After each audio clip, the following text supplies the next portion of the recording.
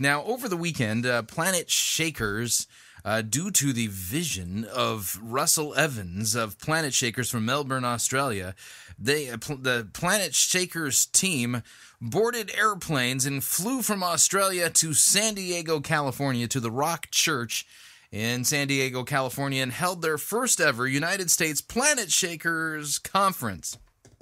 And uh, what did we hear from Russell Evans?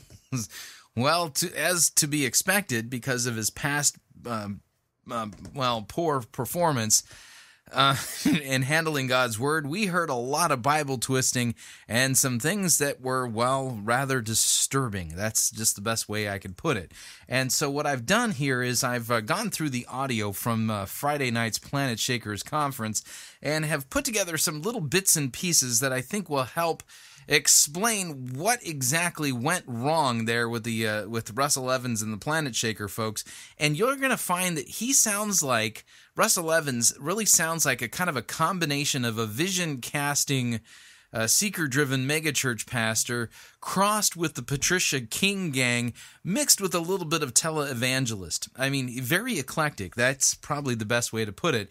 And uh, so, what I, we're going to start with a couple of different sound bites. But first, I, I don't know who the MC was who introduced Russell Evans, but I want to kind of give you a flavor for what happened uh, during the conference. Each and every you know night or day that they had it, they it started with praise and worship, them singing songs from their Limitless album, and they were pushing for people to buy that album like you wouldn't believe. But the MC, you know, there's like a pattern, for lack of a better way of putting it. Uh, to what they do, and that is is the praise and worship first. Then the MC comes out and he starts to set the expectation and the tone that God's going to show up. And so our first soundbite is uh, from the master of ceremonies from uh, Planet Shakers, who eventually will introduce um, Russell Evans, and I just want you to hear the way the manipulation started pretty early on on Friday night. But listen to this. Come on, Jesus is in the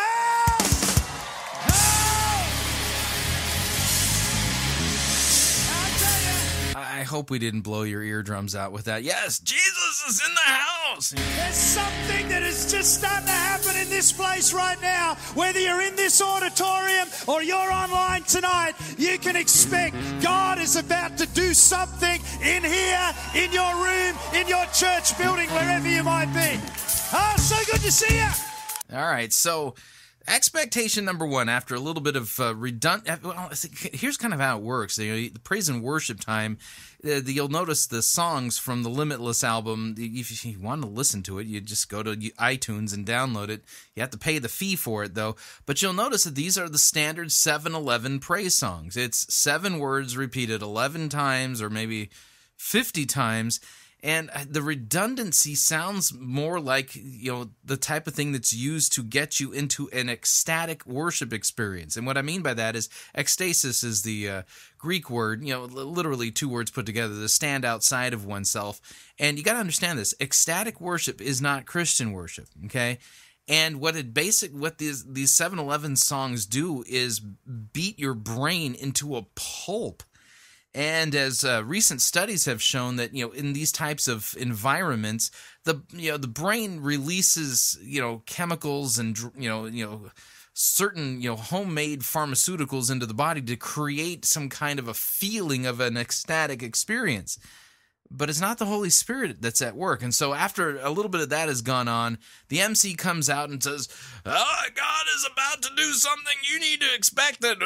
So set the expectation. So, you know, then they launch into another set of these 7-Eleven redundant bash your brain with bricks until it's a mushy pulp uh, kind of songs and and then he comes out again and uh, to set the expectation again. So here's kind of the second version of his or second attempt at the mc setting expectation uh, here at uh, the shift conference. Not the shift conference the planet shakers conference. Here we go. Who's had a great day so far online. I don't know what sort of day you've had so far today, but we're believing that tonight you're going to move from whatever circumstance you might have been in into the presence of God in this place. So we we we we believe you're going to move from whatever circumstance you might to the presence of God. Okay, so they're believing for and having expectations. So I want you to have expectation in your heart. Believe that tonight God's going to shift something. He's already begun in people during the course of today. But whether you've been here for the last 24 hours or you just arrived online or in the room, we're just believing that God is going to do something profound in your life. So if you've got expectation in your heart, why don't you now just prepare yourself to join with Pastor Sam as the team as we worship God? Come on. All right, so their second attempt at setting the expectation. We're my question is, um, why does God have to use guys like this who twist the Bibles in order to have something shift in people's lives? You see, it all just feels like slick manipulation, emotional manipulation to me. So then they launch into more of this you know worship. In fact you know 30 more minutes of it you know uh, you know where again 711 songs you know seven words repeated over and over and over and over and over and over and over. And now after 30 more minutes of this your brain is pretty much non-functional um, as far as any ability to think cognitively, to listen with discernment or anything like that, because you're caught up in the so-called experience of the moment. And something note- noteworthy here is that they really geared the uh, the weekend conference for to you know towards young people. So this is kind of you know again something akin to like the Passion Conference without nearly the uh, the production value. But so here's you know kind of the last intro, you know, the last set of uh, setting expectations by this MC from uh, Planetshakers. Uh, here, listen in. Jesus is in the house. Yeah, we got Jesus. He's in the back. He might pop his head out and wave at you or something. I, I don't know what. Ah, we're going to ask you right now, just to, if you could, if you're in the auditorium, just start to head back to your seats. If you're online right now, now's not the time to leave. Stay with us. We're, we're going to have an incredible few moments as we hear from our pastor, Pastor Russell Evans, shortly. But if you could just head yeah, back. so Jesus is in the house, so they're kind of calming people down now. And I'm going to again fast forward a little bit here, and I want you to hear how he introduces. So once the, all of this, you know, emotional roller coaster with the the super high songs and then the low ballads and then and all of these seven words repeated 11 times in each of these anthems. Finally, it's time to, you know, the, the crowd's whipped into a frenzy. Their expectation Jesus is in the house. Something's gonna shift. God is about to do something. We're believing for you for a breakthrough and things like that. And now it's time for Russell Evans to come out and do business, the man of God, so to speak. And listen to how he was introduced. Here we go. This room, but all over the world, there's people sitting in churches, in their homes, watching with us tonight. And uh, we're just believing that this is just the beginning. Just the beginning of something powerful that God is establishing through our ministry here in the US. It's not that we're coming to tell you what to do, but we're just coming to add to the landscape. And we believe God is wanting to use this as a catalyst. You know, tonight, it's a great privilege for me. You know, I've been involved with Planet Shakers since the beginning. For 15 years, I've sat in conferences and I've seen time and time again conferences just like this start out, and the first night there's a little bit of, you know, wow, this is good, and what's going on, and people watch, and then during the day, people get touched by God, and, you know, tonight, people watching online are just seeing something happen.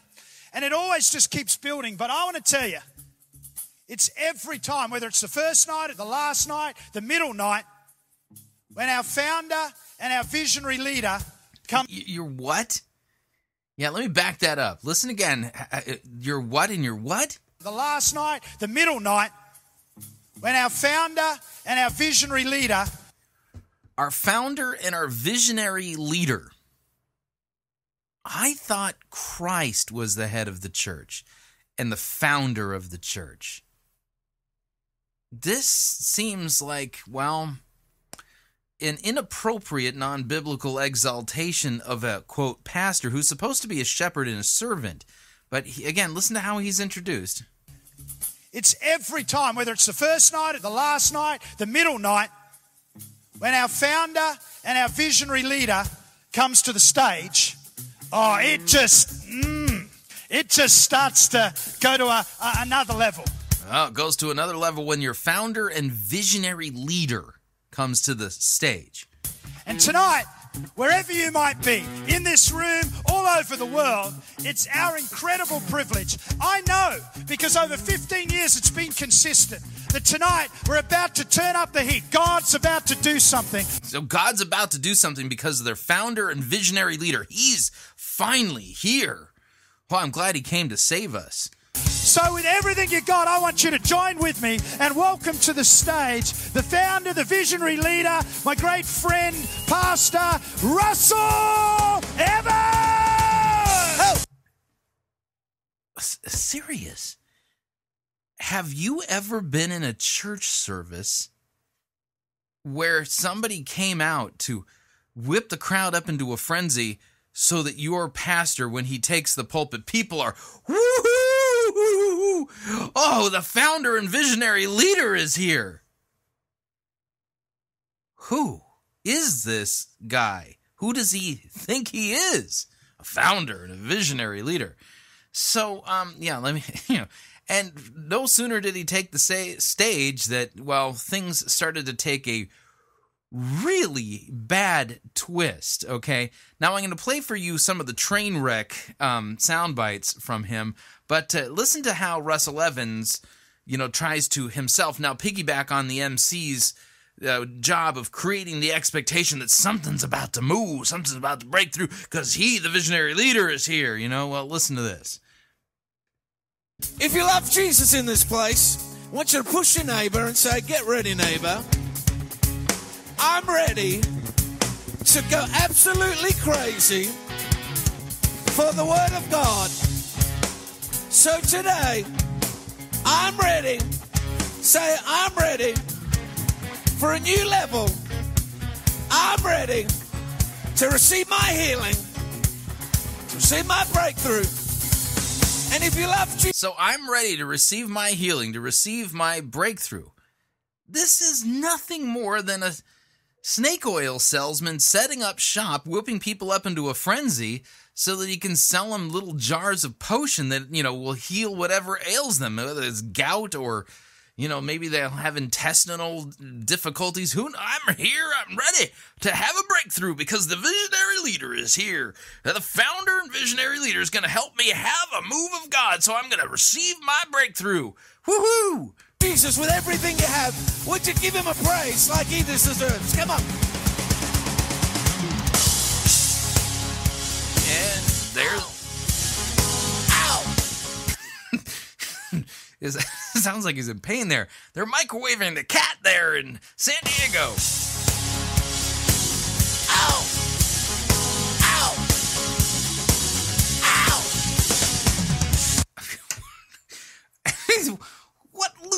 Is this? Anyways, I'm going to play just a few more things for you as far as, you know, kind of samples of the buffoonery that Russell Evans engaged in when he was on the stage there. And, you know, for instance, making statements, well, like this. The church was birthed out of a prayer meeting. What are you birthing out of your prayer life? Oh man, all these guys talking about the need for me to birth something. I'm a dude. I can't birth nothing. Hang on. Again, there's two statements kind of back to back. Listen to this. The church was birthed out of a prayer meeting. What are you birthing out of your prayer life? Yeah. A generation that doesn't seek the face of God is a generation that doesn't have a visitation of God. Uh huh. You got a Bible verse that says that? Let me back that up so you can hear it again. These are just some samples of crazy things that he said here. Generation that doesn't seek the face of God is a generation that doesn't have a visitation of God. Mm-hmm. No Bible verse that says that. Now, here's the funny thing. I told you the guy's kind of a mix between a seeker-driven, vision-casting leader, uh, the Patricia King gang, and a tele-evangelist. Okay. Uh, let me give you an example of something that sounds pretty much akin to what we'd expect from the Patricia King gang.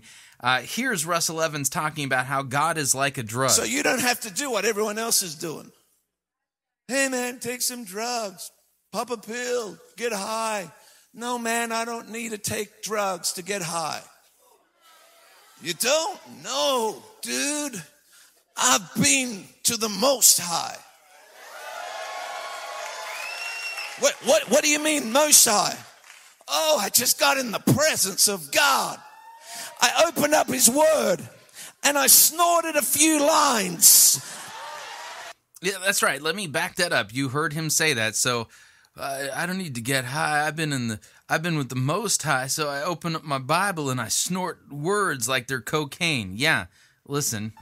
I opened up his word and I snorted a few lines. I fearfully and wonderfully made. Oh. right. So now we got God. You know, the Bible is basically like cocaine lines on a mirror. You open it up and you snort it because God wants to give you a high. Now, that was him trying to sound something like the Patricia King Gang, and here's Russell Evans sounding a lot like a televangelist. Listen in. Now, shh, shh, wait a sec, wait a sec, wait a sec. Wait a sec, wait a sec, wait a sec. Right now, God wants to heal some people in this room. There's someone's back being healed to my left. Someone's back is being healed right there. So now he's calling out healings at the end of the service. There is someone here right now. You have a knee injury and God's healing you right now. There is someone here who has incredible sinus problems. You're, you're over in that section at the back. God is healing you. So if, if you showed up there, you know, you're expecting your breakthrough. If you got a back problem or sinus infection or whatever, whoo, he's calling out healings right here. He's like a televangelist. This guy is like the perfect heretical hybrid. But Russell Evans's greatest skill, if you can call it that, is his ability, like a megachurch pastor, a seeker driven megachurch pastor, to allegorize and completely miss the point of biblical passages. For instance, the story of Elijah on Mount Carmel. And what we're going to do now is we're going to listen to a portion of his teaching from Friday night to listen, you know, to listen to how he uh, completely botches, mishandles, twists, and mangles well God's word. And so uh, this is the the opening of his teaching regarding Elijah, and we'll skip around a little bit. You'll hear some of the lines that we heard earlier uh, just a minute ago uh, in the bigger context of what he was teaching on Friday night out there at The Rock in San Diego. Here's Russell Evans. So Elijah says, okay, let's have a showdown. And so he says, we're going to prove which God is real, whether Baal's real or the God of Israel is real. And so he says, we're going to go up the mountain and we're going to set up an altar and you get your 450 prophets of Baal and there'll be just me. You know, some of us think we are outnumbered, but I've discovered me and God are always the majority. Because my Bible says, if God be for me, who can be against me? My Bible says that greater is he that's in me than he that's in the world. My Bible says I can do all things through Christ who gives me strength. So when God lives in you, you are a majority every time. So you don't have to do what everyone else is doing. Hey man, take some drugs, pop a pill, get high. No man, I don't need to take drugs to get high. You don't? No, dude. I've been to the most high. What, what, what do you mean most high? Oh, I just got in the presence of God.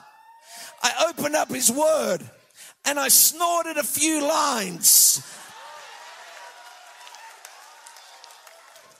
I fearfully and wonderfully made. Whoa! But he repaired the altar that had been torn down. Then he took 12 stones. And then the Bible says he dug a trench around the altar large enough to hold about three gallons and he piled wood on the altar and he cut the bull into the pieces and he laid the pieces on the wood. Then he said, fill four large jars with water. Wait, wait, wait a second. Fill it with water. They were in a drought. For three years, they were in a drought. Who's ever been in a drought before? Okay, now notice what he just did there. Okay, if you're familiar with the story from eh, eh, First Kings chapter 18, this is the showdown between Elijah and the prophets of Baal on Mount Carmel.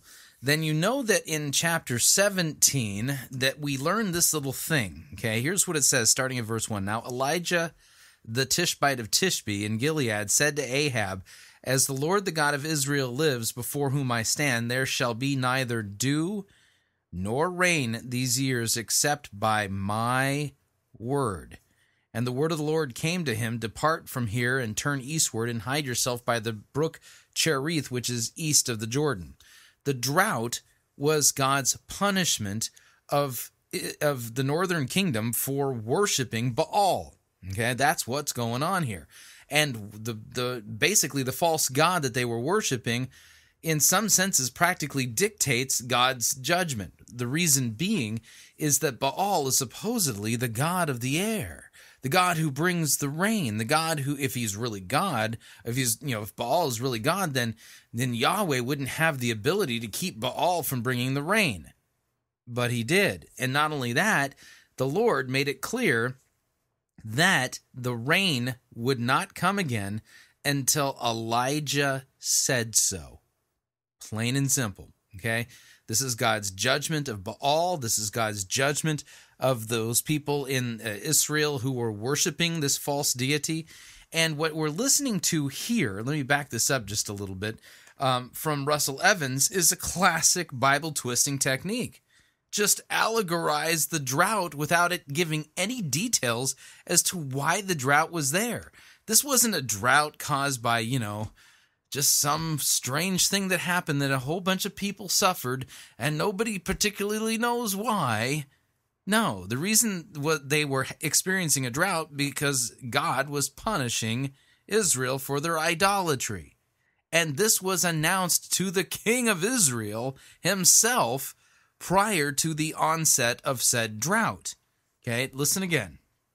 Second, fill it with water. They were in a drought. For three years, they were in a drought. Who's ever been in a drought before? You can't turn your sprinklers on on the right day because you could get fined. When you're in a drought, there's no water. What's the most precious thing in a drought? It's water. When you come to give to the Lord, He wants what's precious to you. You might be in a drought spiritually. We'll come and give what's precious to you to the Lord. Put it on the altar of sacrifice. What kind of nonsense is this? So, if you're experiencing a drought, God wants something precious from you in order to get rid of the drought. That's not what's going on in the story at all. This guy is basically uh, fleecing these people and shaking them down for money. You might be having a drought in relationships. Why don't you come and give your relationship to the Lord? What is precious to you? Put it on the altar. That sentence doesn't even make sense. Let me play it again. I mean, seriously, this is just spiritual gobbledygook that sounds biblical because he quoted a Bible verse and then completely uh, ignored what the passage really says. Why don't you come and give your relationship to the Lord? What is precious to you? Put it on the altar. And he poured on the altar. How many know that when when something's wet, it doesn't burn? you see, I, I believe that the nations of the world, particularly the Western nations of the world, are in a spiritual drought I, I, I, think there's drought all around the place, but I know there's good. I completely agree, and you're actually one of the symptoms of the drought. You are a waterless cloud, which is what how Scripture des- describes false teachers. Good news because I can hear the sound of rain. See, when you talk about rain, you talk about blessing. When you talk about rain, you talk about outpouring. When you talk about rain, you talk about abundance. When you talk about rain, you talk about refreshing. When you talk about rain, you talk about heaven. But there was a drought. He pours water on. He says, God, okay, do your stuff. Fire comes down, and the Bible says the whole nation bows its knee to the Lord, and, he, and they begin to cry out, The Lord, yes, He is God. The Lord, He's, yes, He is God. And so the whole nation bows its knee to God again. Would there be somebody, maybe Elijah, maybe a, a young lady, maybe a young man that would say, God, I, here I am, use me. Here I am, I'm going to pour out what's precious to me to you, that you would turn a nation to say, The Lord, He is God this is complete biblical obfuscation. He should be brought up on uh, charges here. I mean, this is oh, This is flat out rank twisting of God's word. And I love what just about happened. You see, what happens is a miracle comes and people stop at their miracle, but God just doesn't want you to stop at your miracle. He wants you to take your miracle to a whole new level. What? This is a spiritual malpractice of the worst kind. Let me back this up again. Listen to this nonsense. And I love what just about happened. You see, what happens is a miracle comes and people stop at their miracle, but God just doesn't want you to stop at your miracle. He wants you to take your miracle to a whole new level. Hmm.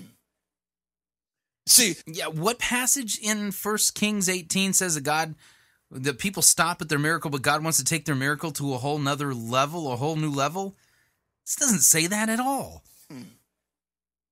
See, the Bible says in Acts the Holy Spirit was poured out. It wasn't just for the Christians to feel good, it was poured out so they could be empowered to make a difference in their world. They took the miracle. What passage in Acts says that the Holy Spirit was poured out so that Christians can make a difference in the world?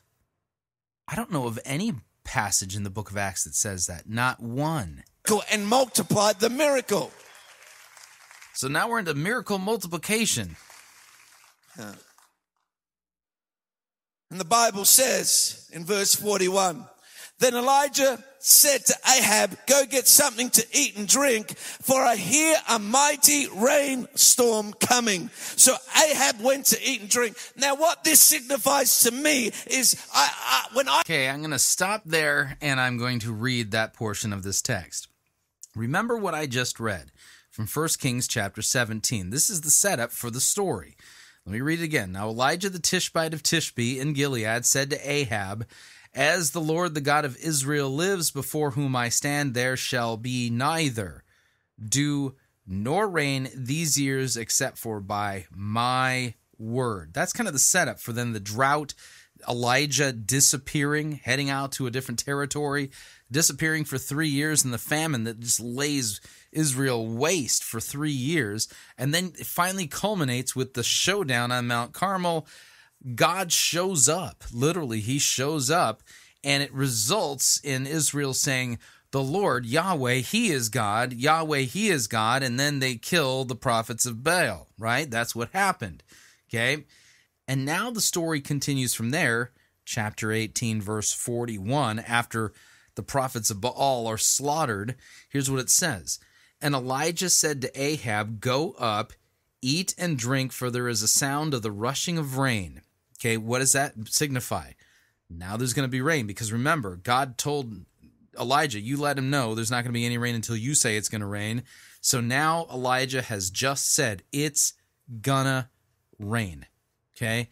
Again, showing that the that Yahweh, he's Lord. You know, Ahab is still resisting God, still persisting in unrepentant unbelief and is still an idolater. Do you think the fact that God showed up in power on Mount Carmel all of a sudden made Ahab a believer? Not even close. Okay. So here, now to add insult to injury, Elijah says, Hey, guess what? It's going to rain. You better get up, you better get somewhere quick because it's going to rain. So, verse 42 So Ahab went up to eat and drink, and Elijah went up on the top of Mount Carmel, and he bowed himself down on the earth and put his face between his knees. And he said to his servant, Go up and look toward the sea. And he said, and he went up and looked and said, There's nothing. And then he said, Go again seven times. So the, the guy went back and forth seven times. Okay. And the seventh time he said, Behold, a little cloud like a man's hand is rising from the sea. And he said, Go up and say to Ahab, Prepare your chariot and go down, lest the rain stop you. And in a little while the heavens grew black, the clouds and the wind, and there was a great rain. And Ahab rode and went to Jezreel. And the hand of the Lord was on Elijah, and he gathered up his garment and ran before Ahab to the entrance of Jezreel. That's the story. That's what the Bible says. This was not some miraculous increase. This was not some blessing at this point. This was to add insult to injury, if you would. Uh, Ahab persisting in unrepentant idolatry now at this point gets gets to he, basically hear from the prophet Elijah, "Hey, guess what? It's going to rain now because because I've said so, and Yahweh is the one who told me to tell you it's not going to rain until I say so, and so now it's going to rain. You better hurry up. You're going to get caught in this." And sure enough, it rains. You think Ahab was excited about that? Probably not. The text doesn't exactly say, but you can see what's going on here. Okay, so now let's find out what Russell Evans has to say about this particular text and how it's somehow an increase in multiplication of, of miracles and blessings. I eat and drink. It's about a, it's around a time of celebration. We're about to go somewhere. See, I believe the church should be the place of celebration.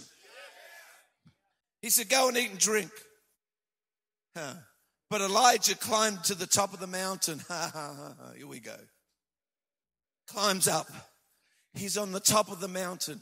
You see, I discovered when God brings a breakthrough, go up higher because there's another breakthrough coming. And the Bible says he gets up. Listen to this complete and utter nonsense. Top of the mountain. You see, I discovered when God brings a breakthrough, go up higher because there's another breakthrough coming. So, oh man. So Elijah goes up on top. Of, so this means that, you know, if you've had a breakthrough, go up higher because another one's coming. This has nothing to do with breakthrough. And the Bible says he gets up on the top of the mountain and he begins to pray. it's amazing me how many people don't pray anymore. They can put on programs, they can come and have a nice church service, but God never created the church for the consumer. He created it for the disciple. Hmm. The church was birthed out of a prayer meeting. What are you birthing out of your prayer life? A generation that doesn't seek the face of God is a generation that doesn't have a visitation of God. Entertain me, do this for me, do that. No, God says, come on, come up higher and begin to burst something.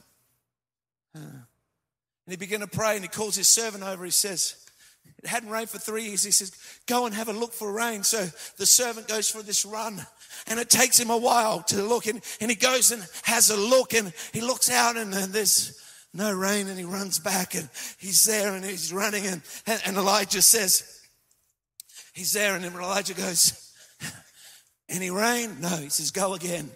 All right, I'll go again. You're sitting there sending me out to do all the work. No rain. Hope he doesn't send me again.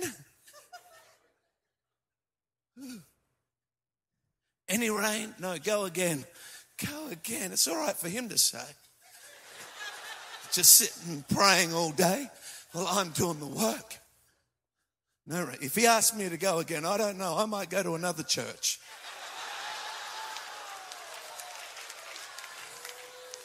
No rain, go again. Ah. I'm sick of going to this church. It challenges me to keep believing even when I see nothing. Notice what he's doing with the story. He's literally hijacked this entire story. He's not telling us anything about what's really going on in this text. If he asks me to go again, I'll tell him to go himself. What type of pastor is he? I don't want to go to his church anymore. He says there's a miracle coming, but where is it? He's just sitting down doing nothing. Notice that not only does this little monologue from the servant of Elijah not appear in Scripture, not at all. Um, it's somehow placing the important uh, breakthrough that's supposedly going to take place in the hands of the servant rather than in the prophet, whom God said it will not rain until he says it's going to rain. Unbelievable. Go again. Serve the in the house, planted in the house. See, so many people don't get this. The guy, the Bible doesn't say those that are planted in the houses of God will flourish. See, God never called you to be a pot plant that would move here, move there, move there, move there. I've been offended. Welcome to the world. I've had hurt. Welcome to the world. The very first thing they do when you're born is they slap you. You are in this warm place, and now you come out, bam, whack. So many people miss out on their destiny because they're like pot plants and go from here to here to here to here. Oh, that pastor offended me. Well, let me get you on the other side. When pastor puts into you. So you miss your destiny because you're like a pot plant. Is that what this text is saying? You and you leave and go somewhere else. How does that make us feel? We're human. Oh, the pastors are high fiving me right now. They're going, preacher. Whoo, five times. Any go again. Okay. Woo, I'm getting better at this. Just so you know, he's walking back and forth the length of the stage to demonstrate what this servant did because apparently the miracle was in his hands. Six. I hope he asked me to go again because I'm a really running junkie now. Go again. You see, every time you go and look in faith, you get stronger on the inside, even if you don't see. Every time. Yeah, notice that this passage doesn't say anything about the servant becoming stronger in faith on the inside because of him going back and forth checking to see if if there was rain coming time you go back and say, I'm going to look again, it doesn't seem like it's going to happen. It doesn't look like it's going to happen. The weather forecast says it's not going to happen, but I'm going to keep looking for my miracle. Would there be a generation that would say, I'm going to keep looking until the rain comes? Mm-hmm. I'm going to keep looking for my miracle. Uh huh. Yeah. Um, this text isn't about your miracle at all. It's not teaching anything even remotely approaching that. This is just flat out narcissistic eisegesis by a man who has shown himself to be a skilled heretical hybrid, kind of a cross between somebody from the Patricia King gang who gets high on the Holy Ghost, a cross between the seeker driven visionary leader and uh, and a televangelist who calls out miracles and the like. And this happened at one of the premier seeker-driven churches in the United States, The Rock in San Diego. Miles McPherson gave his glowing stamp of approval to Russell Evans uh, that Sunday morning, in fact, just a couple of days ago, and let him preach the Sunday morning services, every single one of them but he didn't rightly handle God's word. He mangled it. This was emotional and spiritual manipulation of the highest degree. The guy clearly has no concept of what the Bible's about and knows how to manipulate people and whip them up into a frenzy to expect their miracle and their breakthrough and all that kind of stuff. And none of it, none of it, none of the things he said are actually taught in Scripture. This is a man who's literally well, gone crazy on what he thinks is his particular and unique purpose and vision from God. The reality is is that this Russell Evans' so-called vision is not from God. He's not a faithful proclaimer of Christ and him crucified for our sins, and he doesn't rightly handle God's word. And scripture warns us, don't be deceived in any way. And all Russell Evans is is a deceiver. All right, we're up on our second break. If you'd like to email me regarding anything you've heard on this edition or any previous editions of Fighting for the Faith, you can do so. My email address is talkback at fightingforthefaith.com, or you can subscribe on Facebook, facebook.com forward slash pirate Christian. Follow me on Twitter, my name there at pirate Christian. Sermon review on the other side of the break. Don't want to miss it. We'll be right back.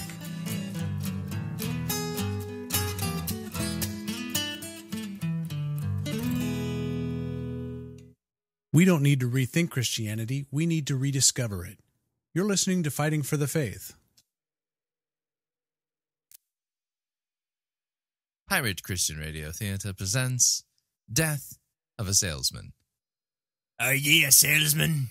Why, yes, I am. Uh, can I interest you in some.